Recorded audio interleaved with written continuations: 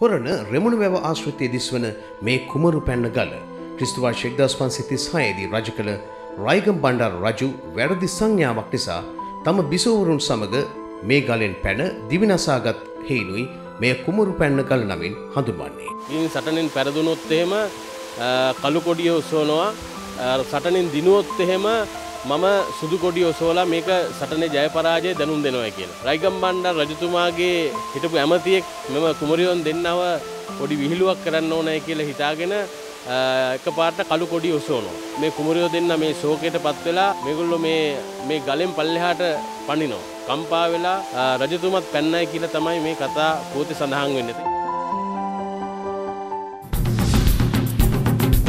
ශ්‍රී Lanka Telecom එකම රටක් එකම හඩක්.